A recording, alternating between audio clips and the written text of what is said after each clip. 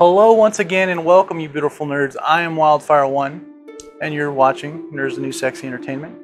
Uh, once again, thanks for joining us. It's that time of the month again. We're do we are doing our level up weight loss challenge update and this is going to be for August 2020.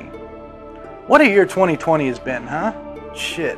So uh, before we get into the pictures, before I show you guys uh, our status and how uh, how well we've been doing, I've been getting uh, emails and messages from fans and friends telling me that they're being motivated by what we're doing to work out and to level up and better themselves. I wanted to kind of give you guys a shout out, all of you that's been sending us messages that, hey, you know what?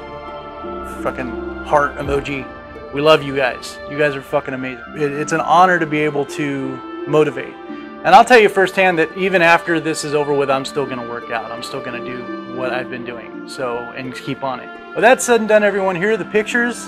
Till then, I want you to stay nerdy, stay sexy, always.